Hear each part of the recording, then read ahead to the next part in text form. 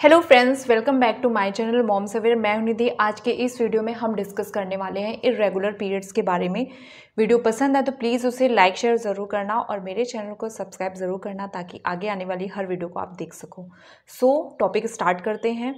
Irregular periods सबसे पहले तो ये जान लेते हैं कि जो पीरियड्स का जो टाइम होता है वो कौन से एज ग्रुप तक होता है। पीरियड्स का जो टाइम रहता है वो बारह से पचास साल तक रहता है।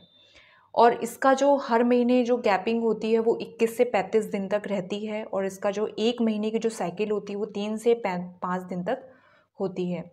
अगर नॉर्मल पीरियड्स हैं तो वो 21 से 35 दिन में शुरू हो जाएँगे, लेकिन अगर कुछ बॉडी में इम्बैलेंस या कुछ इरेगुलरिटीज़ की वजह से पीरियड जो होते हैं वो इरेगुलर हो जाते हैं तो उसका टाइम पीरियड जो होता है वो 21 से 35 दिन में ना होकर बहुत आगे यानी कि दो महीने में, तीन महीने में पीरियड्स हो रहे होते हैं। अगर इसका अगर हम रीज़न की बात करें कॉमन रीज़न होता है आ, कि प्रेगनेंसी अगर फीमेल ने अगर प्रेगनेंसी कंसीव कर रखी है तो ऑब्वियसली उसको पीरियड्स नहीं होंगे लेकिन अगर फीमेल प्रेग्नेंट नहीं है तो हो सकता है किसी और वजह से किसी और प्रॉब्लम की वजह से पीरियड्स जो हैं वो इरेगुलर हो गए हैं। सबसे बड़ा रीज़न है स्ट्रेस आजकल की इतनी ज़्यादा स्ट्रेसफुल लाइफ है भाग दौड़ की ज़िंदगी में जॉब हो गया, घर, बच्चे तो फीमेल्स जो होती हैं वो अपने ऊपर कम ध्यान दे पाती हैं। वो सब पे तो ध्यान देती हैं, लेकिन अपने लिए, खुद के लिए वो कभी टाइम नहीं निकालती हैं और इतना ज़्यादा स्ट्रेस लाइफ में हो जाता है, जिसका सीधा असर उनके हॉर्मोन्स पे पड़ता है। जब हार्मोनल इम्बैलेंस यानी कि फ़ीमेल की बॉडी में टू हॉर्मोन्स होते हैं इस्ट्रोजन और पोजेस्ट्रॉन स्ट्रेस की वजह से इन हॉर्मोन्स में इम्बैलेंसिंग स्टार्ट हो जाती है और इम्बैलेंस की इम, जब इन ये हॉर्मोन जो होते हैं इम्बैलेंस होने लगते हैं इसका सीधा असर पीरियड में पड़ता है और जो पीरियड्स होते हैं वो रेगुलर हो जाते हैं। फीमेल सबको पता है कि पीरियड्स जो होता है, वो कितना ज़्यादा इंपॉर्टेंट है गर्ल्स की लाइफ में। अगर पीरियड्स नहीं होंगे, किसी भी वजह से अगर नहीं हो रहे हैं तो वो एक न्यू लाइफ को बॉर्न नहीं कर पाएँगे। इसलिए जब फीमेल हर किसी के लिए टाइम निकालती हैं तो खुद के लिए भी उन्हें थोड़ा सा टाइम निकालना चाहिए स्ट्रेस से दूर रहना चाहिए, खुद पर भी ध्यान दें, ताकि जो उन्हें पीरियड्स की प्रॉब्लम हो, ये सॉल्व हो सके। और अदर रीज़न है जैसे कि जो वेट होता है कभी कभी एकदम से बहुत ज़्यादा बढ़ने लगता है, एकदम से कम होने लगता है, जिसकी वजह से जो पीरियड्स होते हैं वो रेगुलर हो जाते हैं। फीमेल्स जो होती हैं वो बर्थ कंट्रोल पिल्स ले रही होती हैं, जिससे कि जो ओवरीज होती है वो एग रिलीज़ नहीं कर पाती है। जब एग रिलीज़ नहीं हो पाएँगी तो पीरियड्स जो होते हैं वो इरेगुलर हो जाएँगे, यानी कि वो नहीं होंगे। तो इसलिए जो बर्थ कंट्रोल पिल्स हैं वो एक लिमिट में ही लें, ज़रूरी नहीं कि आप हर टाइम बर्थ कंट्रोल पिल्स ले रही हैं। क्योंकि अगर इसका इफ़ेक्ट भी अगर अगर किसी अच्छी चीज़ के लिए अगर आप ले रहे हैं तो इसका कहीं ना कहीं बॉडी में आपके साइड इफ़ेक्ट होने लगते हैं। कई बार क्या होता है, बहुत ज़्यादा बीमार रहने से या और अदर प्रॉब्लम है, जैसे कि थायराइड हो गया डायबिटीज़ हो गया, इनकी वजह से भी जो पीरियड होते हैं, वो इरेगुलर हो जाते हैं। कई और बहुत ज़्यादा या तो स्पाइसी फ़ूड खाने से, बहुत ज़्यादा कॉफ़ी चाय कोल्ड ड्रिंक्स ये सब लेने से भी जो पीरियड्स होते हैं वो इरेगुलर हो जाते हैं।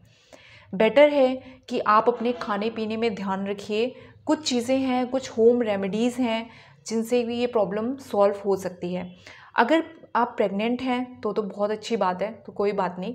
लेकिन अगर आप प्रेगनेंस अगर आपने प्रेगनेंसी नहीं कंसीव की, इसके बाद भी जो पीरियड हैं वो इरेगुलर हो रहे हैं तो बेटर है कि आप अपने डॉक्टर को दिखाइए। डॉक्टर आपको उस कंडीशन में हॉर्मोनल पिल्स देंगे या छोटे मोटे कुछ टेस्ट करेंगे नॉर्मल से। जैसे normal first time doctor pregnancy test करते हैं। अगर नेगेटिव आता है तो फ़र्स्ट टाइम तो डॉक्टर हार्मोनल पिल्स देंगे।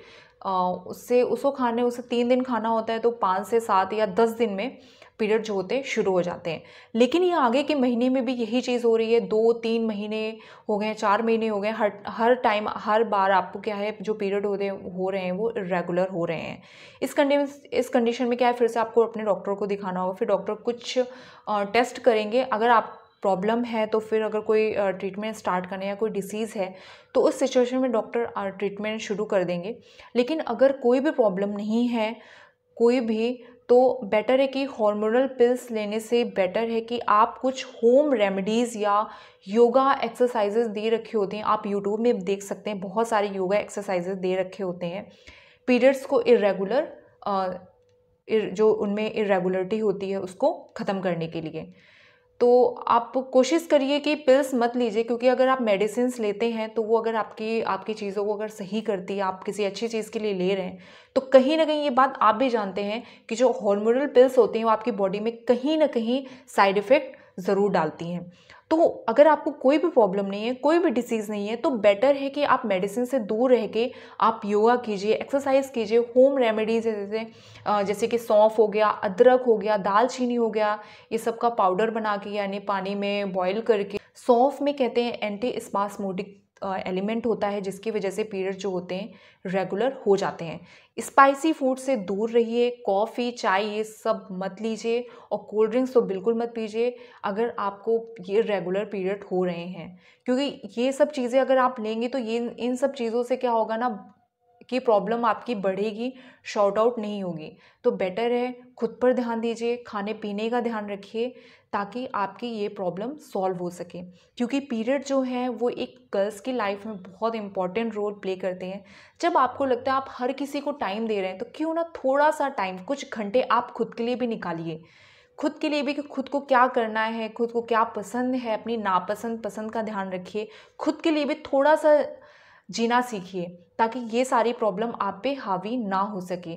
क्योंकि अगर आप स्ट्रेस लेती हैं, कुछ भी होगा तो इसका कहीं ना कहीं असर आपके पीरियड्स में होगा। अगर पीरियड्स इरेगुलर बार बार हो रहे हैं तो आपकी बॉडी में बहुत सारी प्रॉब्लम्स क्रिएट होने लगेंगी। मान लें कि अगर आपको किसी भी, कोई भी रीज़न नहीं है नॉर्मल आपके पीरियड इरेगुलर हो रहे हैं। लेकिन अगर आप इस चीज़ पे ध्यान नहीं देंगी, इसको ऐसे ही जाने देंगी या इग्नोर करेंगे इस प्रॉब्लम को तो ये प्रॉब्लम आगे चल के बहुत बड़ी हो जाएगी। सो so प्लीज़ इस चीज़ में भी थोड़ा सा खुद के लिए भी टाइम निकालिए और इस चीज़ में भी थोड़ा सा ध्यान दीजिए। फ्रेंड्स इस वीडियो में इतना ही। मुझे ज़रूर बताइए कमेंट में कि आपको वीडियो कैसी लगी। तब तक के लिए बाय